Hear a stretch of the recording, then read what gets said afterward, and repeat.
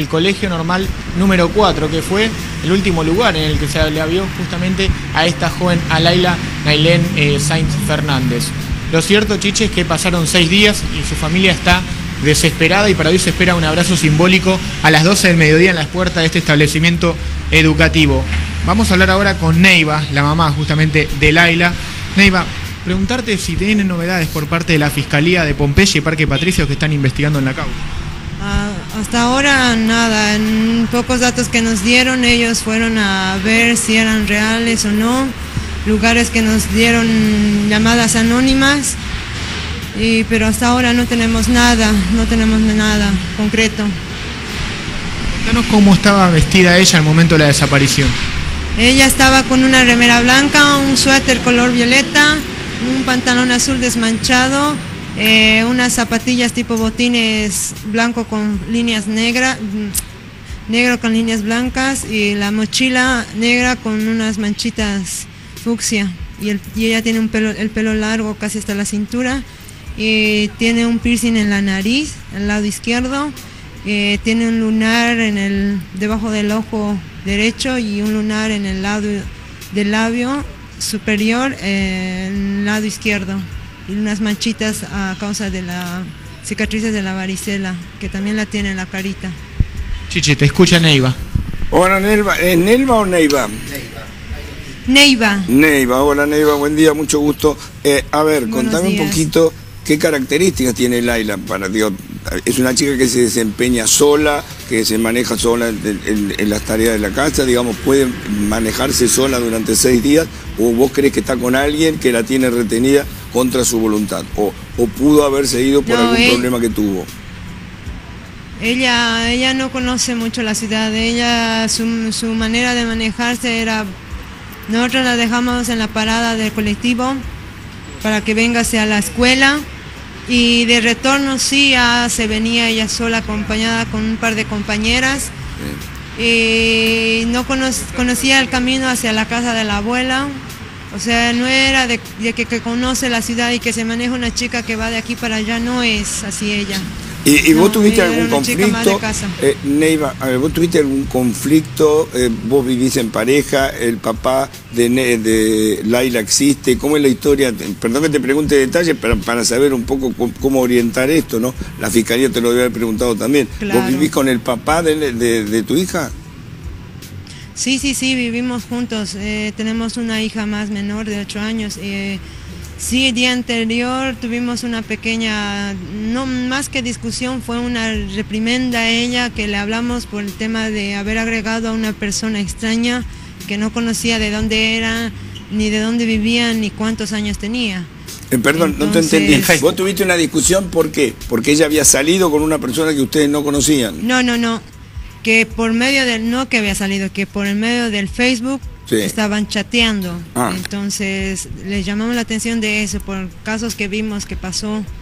Eh, que chicas que se contactaron con estos contactos y a la larga eran personas grandes. Más que nada era la charla era esa, llegar al punto de reflexionar a ella. Pero el día, el día siguiente, el día jueves 22, que ella desapareció, salió bien, de todo bien de la casa. No salió tampoco mal ni disgustada, no nos trató mal ni enojada. Supongo que... supongo que deben estar investigando precisamente esas conversaciones, ¿no? esas personas que aparecen en el chat, si existen, si son realmente, responden a, los datos que dan, ¿no? Claro, es así, como, como en las redes ya sabemos que a veces ponen perfiles que no lo son.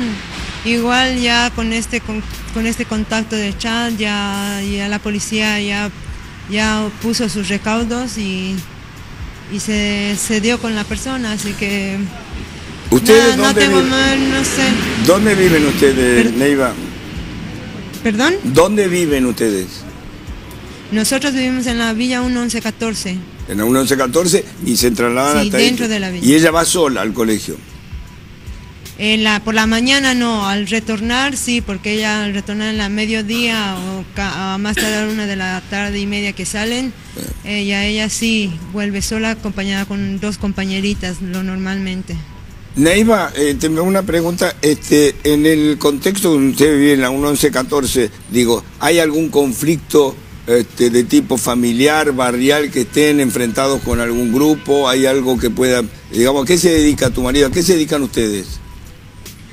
Bueno, mi esposo trabaja en casa, él costura un poco, pero él es el que está más en casa. Y yo trabajo afuera, trabajo de, limpieza. Y no, no tenemos, es más, nosotros no, no, no, nos, no nos reunimos tanto con la gente de ahí, tampoco tenemos problema con nuestra cuadra, nosotros tratamos de llevarnos bien, a muy poca gente conozco de la, del barrio, y pese que yo vivo años ya ahí, no, no, no, Nunca hemos tenido ningún problema, o sea, no para ir por ese lado, no. No te pido explicación, este, Neiva, simplemente para saber, porque viste que a veces ha habido conflictos en la 1114, hay guerra de, familias, hay guerra de nacionalidades, este, digo, los bolivianos contra los paraguayos, los paraguayos contra... ¿Vos sos peruano o boliviana? Yo soy boliviana. Boliviana, pero eso te digo, pero viste que hay guerra entre peruanos y, paraguayos, digo, son, son guerras que a veces este, pueden, pueden en una. No, no, no. Eh, es más, yo vivo en una, yo vivo en un sector donde hay más paraguayos, así que no tenemos ningún problema. Hay muy poco boliviano en ese lugar, pero igual nunca hemos tenido problemas, siempre hemos eh, estado tranquilos en ese sector.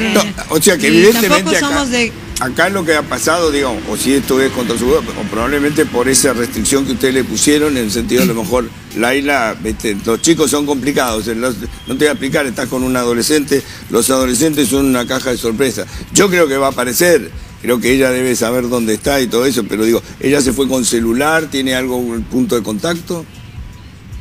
Ella no se fue con no se fue con el teléfono, no llevó ropa tampoco, o sea que para mí eso yo no lo veo como una o sea, terminó, escape, como perdón, una perdón, la, eh, perdón, Leiva, terminó la jornada y a partir de ese momento desapareció.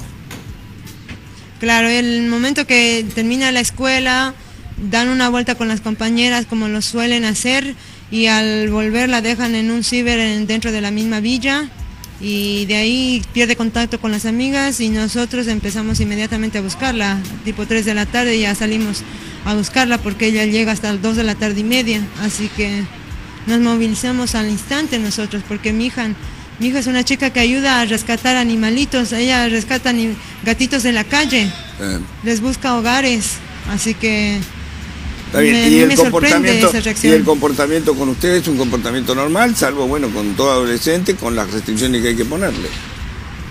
No, ella esta sema, estas semanas estaba bien, estaba de lo más tranquila. Así que no, no, no sé, no sé qué podría hacer. La verdad no, no sé si la están reteniendo a la fuerza. Quiero pensar, como también usted dice, que sea alguna travesura pero también no dejo de descartar de no, no poder, no poder relajarte. Acá mi compañero quiere hacerte una pregunta. Sí, Chiche, le quiero consultar a Neiva por la última actividad en Facebook eh, de su hija. Eh, hay un post en el que ella dice, siento que me faltas, ahí lo estamos viendo nosotros aquí en pantalla, Neiva, y una carita de tristeza, un emoticón que se suele significar cuando uno busca, viste que pones el cursor encima, Chiche, a ver qué significa, se siente incompleta, ahí lo estamos viendo. Exacto. Eh, si suponen que esto eh, tiene que ver con esta persona con la que estaba chateando. Y esa, esa, esa conversación eh, fue el mismo, el, fue el miércoles que justo mi hija, yo estaba con ella el miércoles y me dice, ma, ¿puedo poner mi estado? Mi, porque te digo que tenía una, una charla con ella, me dice, ¿puedo poner algo de cómo me siento? Sí, le dije, y ella puso eso, yo no vi, porque yo no estaba conectada ese momento en el, en, en el Facebook. Y después me di cuenta que había puesto esto. Y el papá le dijo, ¿por qué, ¿por qué pusiste eso? Porque nosotros ya habíamos visto esto. Entonces ella, ella así, ah, porque me siento incompleta, porque quiero hacer otras cosas. Nos explicó ella. Es que, o sea, esto nosotros lo habíamos, le habíamos preguntado un día antes a ella. ¿Y algún dato pudieron recabar sobre esta persona? Aún cuando a veces hay, gente que se registra con un nombre que no es el real, eh, ¿pudieron identificar, aunque sea con el nombre falso, a esta persona en Facebook? Sí, sí, sí, igual ya la policía dio con esta persona, como ya dije en varios lugares, entonces sí dieron con él y, por lo visto, según datos, no, no, no la vieron, no la vio. Ella me dijo igual que no ¿Es un hombre grande y una mujer grande que es hombre o mujer? Es un hombre. ¿Es un hombre grande? ¿Cuántos años tiene? Sí, sí, ella, y aproximadamente 21 años lo que me dijeron, lo que me pudieron dar. Digamos, es grande para Laila, pero no es tan grande tampoco. Yo creo que es una historia de amor contrariada, qué sé yo. Entonces te diría que eh, estés alerta, pero digo, me parece que tenés que tener probablemente la esperanza que creo que está viva, que está, está protegida. Lo que pasa es que está en una actitud de rebeldía, armando una vida que a lo mejor esté, digo, qué sé yo, los, amores a esa edad. Ahora, lo que no sabés si alguna vez lo vio. No, no, no. Según lo que me decían, ella misma nos dijo que nunca lo había visto. Ella misma nos contó eso y las compañeras también nos dijo que no. Que es muy chiquita, la verdad que 13 años es muy chiquita. son 13 años. Es muy chiquita. ¿Y tiene tarjeta SUBE registrada? Que pueda servir para... Lastimosamente la, lastimosamente la SUBE no la tenía registrada porque ella la había extraviado recientemente. Eh, bueno, son cosas que hay que enfrentar. Eh, hoy hay un abrazo, ahí me estaba contando. ¿Vos tenés alguna información, Gustavo? Sí. Eh, la persona que está en el chat del Facebook, que hablaba con, con Laila, tenía 208 contactos, 208 amigos. Todas eran mujeres y todas menores. Estamos hablando de alguien que... usa Facebook para captar a sus víctimas. Claro. Y bueno, es un tema... No, no, digo, supongo que todo esto la policía y la fiscalía están trabajando. Ahora, Neiva dijo recién que ella lo descubrió, que eh, su hija lo agregó a esta señora a Facebook. Neiva, ¿cuándo fue eso? ¿Cuántos días antes de que eh, ella lo agregó, lo que ella nos, nos explicó, que lo había agregado recién una semana atrás, más o menos aproximadamente casi dos semanas, se podría decir que lo había agregado. Y yo no, no me di cuenta, nos me dijo ella, sí mamá, recién la, agregué. O sea, tuvimos una charla un día antes de esto con ella. Le, habló, le hablé yo y me dijo, sí, le agregué más y le expliqué que estaba mal y, y nada, no, no, no sé ¿Qué pudo haber pasado? No, no, no, me, no puedo explicar, ¿no? Neiva, nos vamos a quedar.